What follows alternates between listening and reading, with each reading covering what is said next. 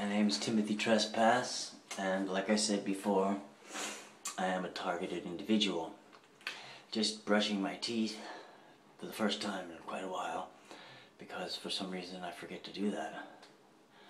It never used to happen. And I don't know if you can see it here, but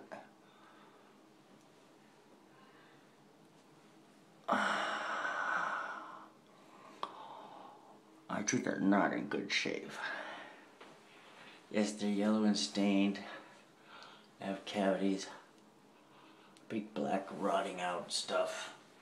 And it all started in the hotel where they put stuff in our room that ate everything. ate our clothing, it ate our skin, ate our teeth. It had bugs in our mouth. Still do. Had sort of a rash of little flitty, yicky, bitey things that go into your skin and leave pimples and leave their payload. Because we've been going through all our stuff as we're preparing to move. And um, you know, with the windstorms and the cold and whatever. Yesterday I actually went out and walked around in the snow storm looking for if there were any new rooms posted, but I didn't find any. Today I didn't go out. Laid in bed because I've been under attack horribly. This high frequency sickness and the rah, rah, rah, rah, poor Petra with the blah blah blah blah blah and the mind control. They're really tormenting her. And the the inside, what they're doing inside, she's connecting to what's really going on in the outside world. And I choose not to believe that that's the fact. I mean, yes, it's going on, but, you know, I don't know. I know it's interactive and whatever, but so she came in from the store and the super saw her in the hall and said, oh, so you're looking for a place? Have you found a place? And no, we haven't found a place for looking and whatever. And oh, well, the electric, you're using your electric, it costs me money. And she said, okay, I'll give you some money for it. And she came back and got some money. and went and knocked on his door and he didn't answer. And now she's all upset because I don't know why. She feels like uh, in 28 years I've never had this problem living in New York. It used to be that just being responsible and paying your bills on time was enough but not anymore, quote unquote, is how she feels. And I don't blame her, you know. We're living in this place where they want us out a long time ago, and the only reason we're here is because we're brave enough and have rights and but you know, who knows what they're gonna try next, man. They've pulled a bunch of crazy shit already. It's still playing out, you know. They've been nice for a moment because they know when they go to court they're to look like monsters if they're not, you know? And uh, so they need to accomplish their purpose. And we're not naive. I mean, you know, it's the carrot and the stick. You know, it offers you $2,000 to get out. And you're going, what's that going to do if I have nowhere to go? So we're looking, looking, looking, and every place we've seen so far has either been too small, too expensive. Uh, just the other day we went and saw something that was $600 a month inside of a man's living room. Uh, one corner of the living room was cordoned off with like styrofoam wall insulation. like kind of construction you do when your landlord doesn't let you do any construction and it's only temporary and it was painted like this road sign orange, like he found a can of paint on the street that was used to paint the street and painted the walls and the floor and the ceiling, and it had no door. He was a nice man, but he had this desperate, like, peeking out the window look like, oh, I don't know. there were three rooms in the apartment. Anyway, you don't want to live in someone's apartment when you're renting a room. If you can help it, you want a private entrance. Uh, or at least a room on the other end, you know? Anyway. I, I don't know what's going to happen, man. We've always managed to pull it together at the last minute. The last minute has been going on, and that's cool. I don't mind not paying rent for a few months. I mean, there's no other way we could really do this because the money we don't have is not enough to just get up and go, you know? Um, so we can put a little aside and make it possible to actually move to another room for some reason I have this fantasy that like somehow we can make some choice that will make it better.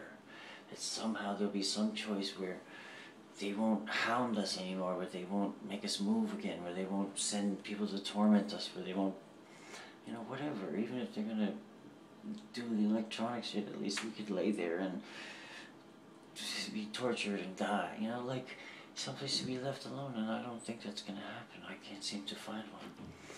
And there's been a number of people out there, very, very kind, gracious people who have offered themselves and their place and whatever to us, and for that I'm grateful. And I say thank you. And I got a list. I have a list. And uh, if it comes down to it, we'll be there. But, uh, you know, so don't think that. Uh, anyway, thank you. Thank you. Thank you to everyone who's cared and prayed and watched and donated and commented and offered themselves. And we know what it's like. And I think that's the only way we're going to do anything is by helping one another, at least emotionally supporting one another as best we can. And I know I take like long lapses from this social. I don't know, man. I lay in bed, I stare at the ceiling, I pray, I watch cartoons over and over and think about the mind control. I mean, I just, I keep hoping there'll be some solution that I will find. This lady has this lot with all these shipping containers. And she's cool. but the city wants her out. So she's got to go. She doesn't want to let me in there. Supposedly she has another lot somewhere else and she's thinking of re doing this business with the containers where you rent them out and people store shit and use them as offices or whatever. I gotta talk to her and see if it's even a reality or if that's just something in her mind because she's got all this pressure from the city. They want her to pay people under the table and all kinds of, you know, she's like, I'm not going for that. This is, she knows what's up. Not, I don't know whether we, you know, whether that's a reality. Petra's like, ah, I don't want to live any place cold. I'm like, I don't want to live any place cold either. I have to insulate everything. Make it, you know, it could be really the coolest thing since sliced bread, or it could be the worst nightmare since the Titanic.